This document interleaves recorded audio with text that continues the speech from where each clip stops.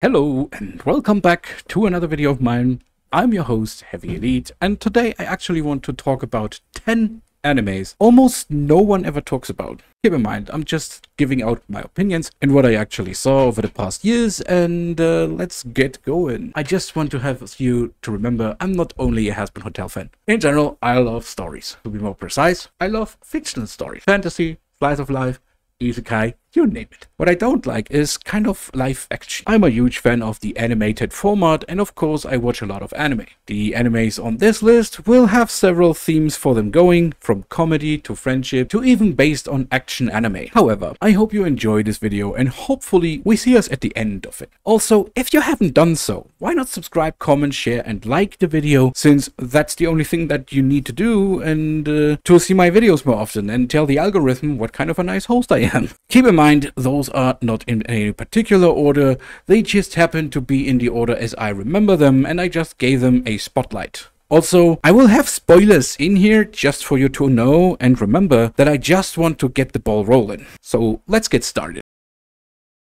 On number 10 we have The Legendary Hero is Dead.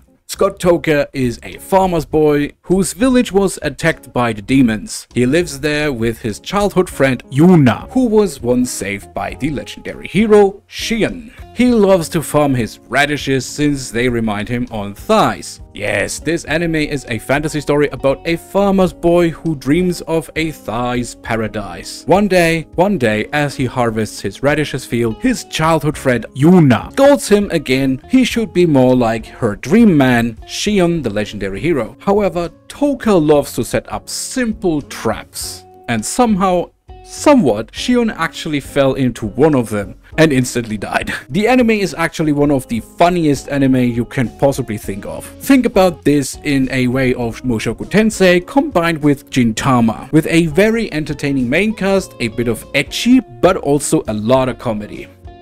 9. Trapped in a dating sim where the world of otome games is tough for mobs. This story actually follows Leo fou Bartfort, who died due to himself playing a video game that his young sister couldn't beat. He wanted to eat something and when he did go out to grab a bite, he basically fell down the stairs and died. And it turns out when he came back to life, he actually was reborn or most likely transported mentally into the young boy Leon fou Bartfort and lives now in that sad Otome game. While he complains about the shitty story and the incredibly unbalanced, useless male hero characters of the game, he purchased a built-in cheat code, namely Luxion. The story progresses with him having a toxic relationship with the world of the Otome game and he hates all the women for their trash taste inside the university. However, before the story actually starts, Leon goes to a specific location to reenact his cheat code Luxion, and with that becomes infinitely more powerful and wins basically by default.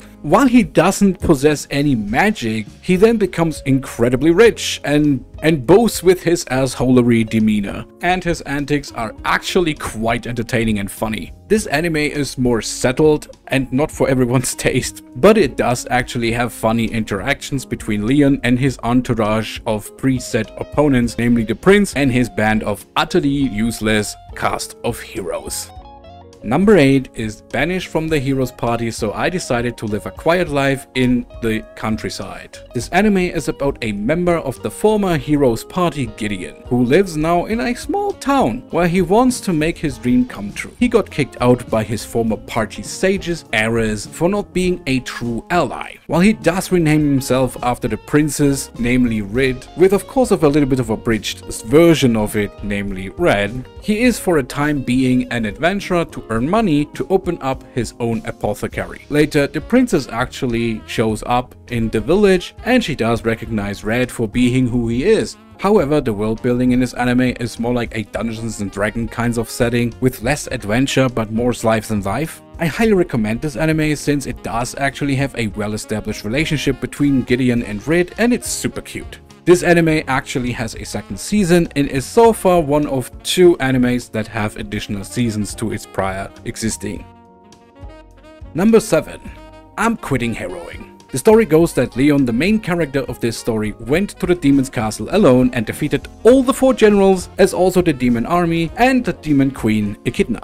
Now banished from the human cities and kingdoms, Leon finds another occupation. He goes to the demon castle, where, where demon queen Echidna didn't leave the human world and tries to re-establish her demon army. So, as Leon heard from the townsfolk that she is hiring for the army, Leon shows up and tells her that he can help her to achieve the destruction of humankind. This anime does actually have a deeper plot that one doesn't really expect, and the demon army is kind of in shambles, so the four generals who are kind of either ill-suited for their position or mostly occupied with all the work they can possibly get to. While it sounds funny on the outside, the plot has actually a well done twist. I can only recommend it for you to look into. I hope this one gets a season 2, while it does have a two-part OVA, we still need more of this story. Also, its opening is a freaking banger.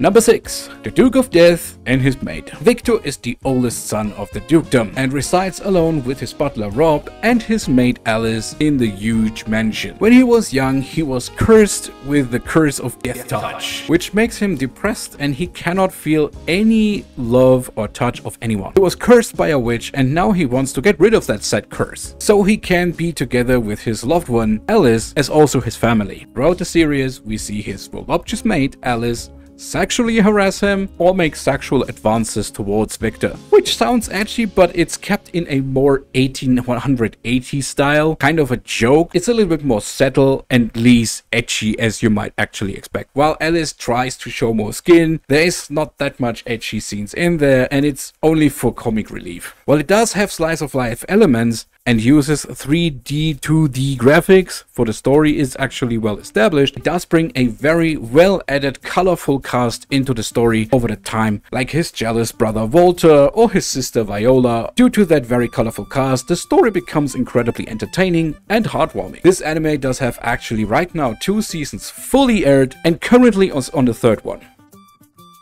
The Grimoire of Zero. The story follow this story follows the Beast Fallen Mercenary. Yes, that is his actual name. We do not get an actual real name, we just called him the entire season Mercenary, which hunts witches.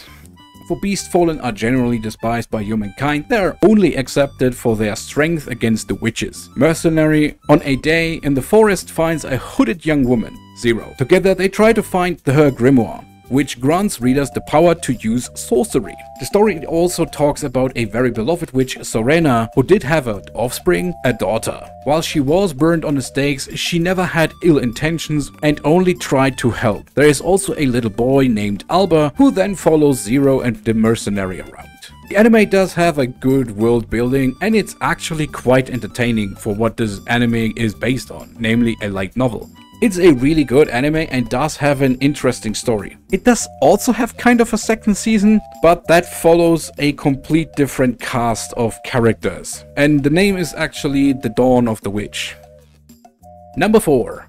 Level 1 Demon Lord and 1 Room Hero. Max, the main character, the hero, defeated the Demon Lord with his party of friends. The story actually starts 10 years later after the Demon Lord's fall and when the Demon Lord is basically bored of awaiting around for his resurrection and he re-enters the world again as, well, a smaller version of himself to continue the battle against hero Max and his party but most likely Max. However, as he returns and finds the hero in a more abridged state, rather than being celebrated, the world forgot about him and actually doesn't care about his heroism. While the hero basically lives from his riches that he earned as an adventurer in a very small apartment with just one room and withers away. This anime starts very entertaining and it's an actual very funny start, however, it's sold off to be just more than just a simple comedy. It does have actually some kind of dramatic turns of events and these are kind of heart-wrenching once you know them.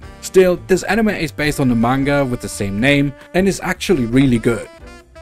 Number 3. The Weakest Tamer began a journey to pick up trash. The story follows the young 5-year-old girl Ivy who was reborn into this new world. However, instead of being overly powerful, she actually is incredibly weak due to her not having any stars. So she gets hunted down by her family and her village, for they think she is a bad omen to the village. Trying to survive, she lives a trying to survive. She lives for a time being with the oracle that visited the village from time to time and she sets out to pick up trash that adventurers and the like leave behind to make money. She comes across a little transparent slime, the weakest monster in this world setting, which she, as the weakest tamer, is only capable of taming, and she actually calls it Sora. This is kind of an isekai but focuses mostly on Ivy as a character and her taming skills with her trying to be positive. While she has trust issues due to the treatment of her home village, the viewer has actually good reasons to root for this little girl. I can only recommend this anime for its incredibly unique. Number 2. Sandland the story follows Raoul, an old soldier who fought in the last war in Sandland. Now, his king, who controls the only water source in Sandland, sells water for an unimaginable high price. But Raoul sees a water bird, which are told to live where the water sources are. So Raoul actually believes there must be a legendary water well somewhere to share this with the people and his kin. So he does go to the demon city where the little demon Beelzebub lives. Together with Beel and Thief, they try to find that water source and actually come across a very colorful cast of people.